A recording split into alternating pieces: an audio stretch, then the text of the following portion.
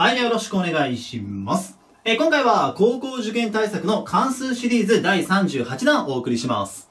で、問題はこの3問です。今回ね、これやっていきますので、ここで一回動画止めていただいて、ぜひチャレンジしてみてください。ちなみに今回は2年生の一次関数さえ習っていれば2年生でも解くことができますので、ぜひね、2年生の方もチャレンジしてみてください。で、やってもらって分かんなかったり、不安なところがあれば、今からね、自分が問題解いていきますんで、聞いてもらえたらと思います。いいかな？では、早速ね、まず1番からやっていきますので、どうぞよろしくお願いします。よし、じゃあ行きましょう。では、画面下げますので、お待ちください。いくよ。よっからしょ。ほ、もうちょいか。この辺かな。よし、じゃあ行きましょう。で、問題とか、まあ、グラフがすごくシンプルなんですね。今回ごちゃごちゃはしておりません。で、いつも言うように、こう、まあ、左上にね、問題文に書いてあった情報を、そのグラフに書き込んでいきます。もうこっちはね、読まなくていい状態にしたいんでね。で、L が、まず y イコール2分の 1x プラス6ですね。なので、y イコール2分の 1x プラス6。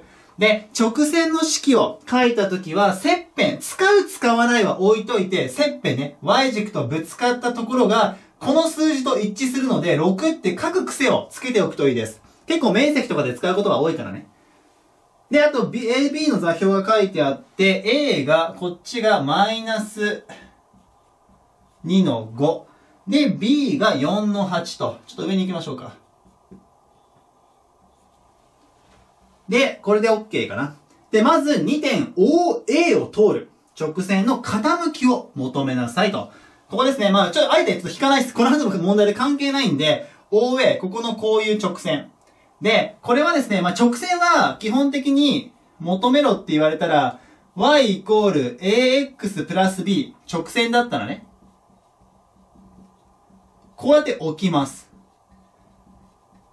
で、もちろんこれで置いて解いてても構わないんですけど、今、OA ってことは原点通るんですよ。原点。原点通る直線っていうのは1年生で習った比例なのね。で、比例っていうのは、置き方はこう。y イコール ax です。なぜなら、プラス b って切片なんですけど、切片原点だから0なんですよ。つまり、本当は ax プラス b でいいんで、ここが0になってるから消えたよっていうだけなんですが、まあ、比例っていうか、原点通る直線って分かれば、y イコール ax と置きましょう。今回はね。で、置いたら、あと a を通るじゃないですか。OA はね。で、A の座標が出てる。座標が出てるんだったら代入しちゃいなよっていう話なので、X にマイナス2、Y に5を代入します。そうすると、こうですね。で、まあ、これ移行してまとめると 2A イコールマイナス5か。となるので、A イコールマイナス2分の5です。で、今回気をつけなきゃいけないのは、傾きを求めなさい。だから、直線をね、書けって言われたら、A を戻してあげて、y イコール2分の 5x って書くんだよ。直線の式だったら。でも今回傾きだから、この数字が答えね。これ書くとバスクラからね。これすごい細かいことなんですけど、受験の時割とテンパってるとか緊張してるとやりがちです。このミス。で、絶対個人的には合ってると思ってるのに、ここで3点、4点、5点持ってかれちゃうから、こういう答え方のミス、気をつけてください。では、2番ですね。で、その前に1行入ってて、P がありますと。まあ、書いてあるけどね。で、P は X 軸上の X が、えっと、大なり0。つまり、正の部分。右側です。こっち側に来ない。ね、正の部分にあって、三角形 APB。まあ、ありますね。ここ APB。これの面積が26だと。まあ、一応書いておきますか。メモ程度にね。26ですよと。で、その時 P の座標を求めなさいっていう問題。で、基本的には求めたい座標、座標を求めろって言われたら、その求めたい座標の X 座標を文字を使っておきます。例えば、こうだったら、まあ、自分でよく t を使うんで t 使いますけど、何でもいいよ。a とかでもいいけどね。X 座標を文字を使っておくの、こうやって。で、今、p っていうのは、X 軸の上を乗ってるので、y 座標は自動的に0ね。こうなるから。いいかな？これで OK。で、こっから進めていきます。問題を解くときにね。で、今、今回情報として与えられてるのはこれです。面積が26。つまり、この t をうまく使いながら三角形 APB の面積を t を使って表せればいけるなって。で、よく自分が言いますけど、関数の問題で面積が、三角形の面積が出てきたら軸で切れって言います。自分は軸で切る。例えば今回、y 軸がちょうど三角形に入ってるんで、ここで切ってみる。でも、今回の場合は切ってもうまくいきません。なぜかっていうと、切るじゃん。左側三角形なんでいけるんですけど、右が四角形になっちゃうのね。元々が三角形で、それが四角形とか五角形に角が増えちゃうのは基本的にダメです。方針としては。まあ、例えば、この PB がね、ちょ、Y 軸と平行でまっすぐ下に降りてれば、右側が台形になるんで、ちょっといけるかもしんない。でもそうじゃないからね。斜めになってるから、普通にこうなんだろう、ちゃんとした台形とかじゃないからね。じゃあこの作戦はきついと。じゃあ次にどうするかっていうと、これはもう透析変形です。よく使うね、透析変形。何かっていう、じゃあ書いておこうか。多分やる方針としては、他のね、やり方もあると思うんですけど、等しい面積に変形するってやつです。ちょっと復習しましょうか。少し動画長くなったら申し訳ない。こう平行な線がありますと。で、底辺を固定します、ここに。ここ底辺ね。その時、この三角形の面積も、この三角形の面積も、この三角形の面積も全部一緒です。等しい面積です、全部。なぜなら、底辺を固定してて、平行な線を引いてるから高さが全部同じなんですよ。全部の三角形が。だからどこに持ってこようと底辺ちゃんと固定してるから、こうなっても、こっちの方になったとしても全部面積変わらない。これが等積変形。で、今直線が1本しかありません。だから引きます、自分で。どこに引くかっていうと、こいつを移したいの。今、ごめん。底辺は、ここって一応考えたいので、こいつと平行になるように、ちょっと斜めでごめんね。こんな感じで平行な線を引きます。そして、この P を、ここに持ってくるの。ちょっと P ダッシュとかにしておきましょう。持ってくる。そうすると、ちょっと赤使いますね。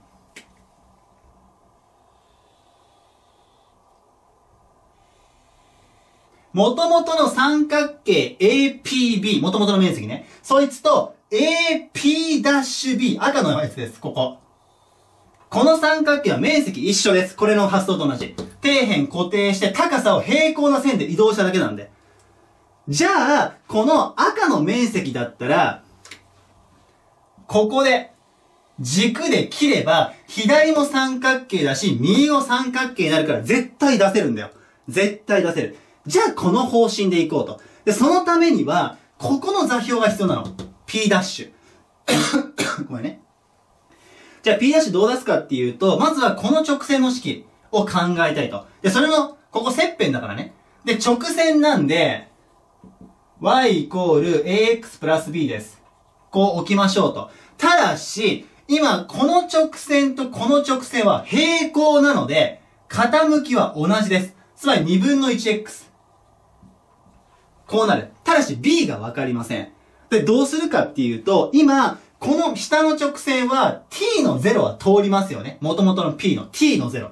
じゃあ、こいつ通るから、これを代入しちゃうんです、ここに。代入しちゃう。そうすると、x のところに t、y のところに0を代入してこうなる。で、そうすると、移行すれば、b イコールマイナス2分の 1t とこうなります。で、これ何を言ってるかっていうと、この直線の式、もちろん t を使ってますけど、y イコール2分の 1x マイナス2分の 1t とこうなる。で、この部分が入ってるかな？入ってない。ごめん。ちょっと下げます。この部分が、切片なので、この p' の座標は、0のマイナス2分の 1t とこうなるんです。こうなる。で、こうすると何がありがたいかっていうと、まっすぐ、ここね、ここ底辺です。今、左の三角形と右の三角形考えていくんですけど、青のこの部分が底辺なので、底辺は上の y 座標から下の y 座標を引けば出せます。一回、上から下を引く。今、上が6です、ここ。下はマイナス2分の 1t です。だから、上から下を引くんで、マイナスマイナスだからプラスに変わるよ。これがこの青い部分の長さになるんです。で、今、例えば左の三角形は、高さこの部分だよね、ここ。ここはマイナス2の5、座標がマイナス2の5だから、マイナス2、こっち左2いってるでしょだから長さ2ね。マイナス2じゃないからね。長さにマイナスはないから2にしてください。つまり、底辺かける高さかける2分の1と。これが左の三角形です。こっち側。いい？で、プラス、右側の三角形は底辺は同じです。6プラス2分の 1t かける高さはここです。三角形の高さ。こいつのね。で、高さ4の8。4の8だから、高さは4だね。4かける2分の1とこうなります。まあ、くっつけてやるね、方法も紹介してるんですけど、今回ちょっと分けて考えました。こうやってね。で、これそれぞれ展開していくと、まあ、ここ約分できるんで、これカッコ外れるから、上はね、そのままこうなると。で、下の部分は、プラス、下はここ約分して2が残るから、2を分配法則して、12プラス t とこうなる。で、まとめると、2分の 3t プラス18とこうなります。これで面積が表せたの。で、何がいいかっていうと、今、こいつが26です。もともと26だからね。同じだから。つまり、これイコール26と、ここに式が、こう完成したので、あとはこれ解いていきます。2分の 3t、18移行すると、8になる。だから、両辺3分の2をかけてもらえれば、t イコール3分の16とこうなります。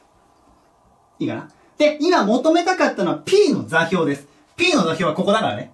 で、t が今3分の16って分かったから、じゃあ p の座標は3分の16の0。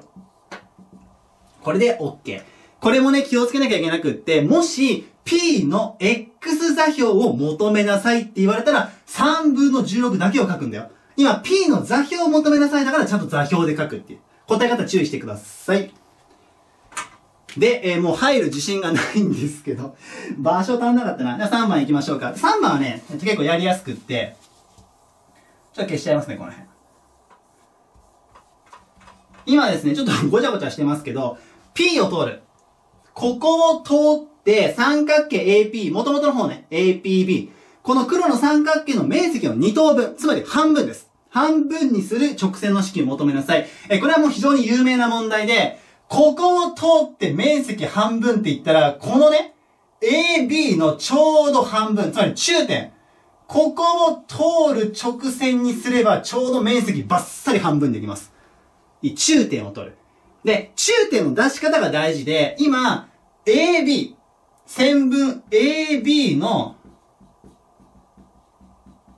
中点を出したいんですよね。で、中点の出し方っていうのは、今 AB の中点だったら、X 座標足します。マイナス2と4を足したら2ですよね。足したものを2で割ってください。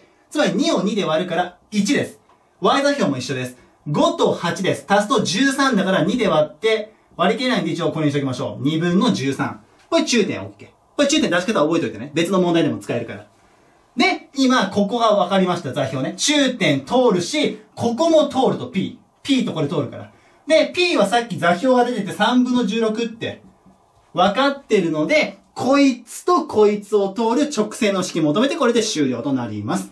で、2点を通る。まあ、傾き先に出してもいいんですけど、えー、しつこくね、直線なんで y イコール ax プラス b と。で、これをじゃあこっち先に代入しましょうか。入れると、2分の13イコール a たす b です。これね、この1と2分の13代入しました。で、こっちを代入すると、0イコール3分の 16a プラス b と。で、これの連立方程式解いて終了です。で、B が揃ってるんで、まあ分数嫌だったらね、分数消してもらっても構わないですけど、まあ、揃ってるんでこのまま引き算しちゃいましょうか。えっと、えー、上から下引きましょう。そうすると、左辺はこのままですね。で、こっちが上が3分の 3a なので、マイナス3分の 13a とこうなりました。で、これ、両辺にマイナス13分の3かけるから、マイナス2分の3だね。こうなる。いいかな？で、A が出たので、あとは B 求めましょうと。こっち入れた方が楽かな。なあ。下の式持ってくると、変形すると、こうだね。これを左辺持ってくればこうなるから、A のところに マイナス2分の3。代入すると消えて8か。B イコール8となる。で、A と B が出て、今直線の式求めろって言われてるから答えの欄には y イコールマイナス2分の 3x プラス8と、こう書いて、これで終了となります。いいかな？ぜひね、こんな感じでやってみてください。え今回の問題に関しては、この透析変形とか、こういうね、大事な要素が入っております。とか、今思ったけど、勉強する順番でもしかしたら透析変形になってない2年生いたかもしれない。それちょっと申し訳ない。えこういうね、三角形の透析変形という技がありますので、ぜひね、覚えておいてください。では、今回は高校受験対策の関数シリーズ第38弾をお送りしました。今回の授業はこれで終わります。以上です。ありがとうございました。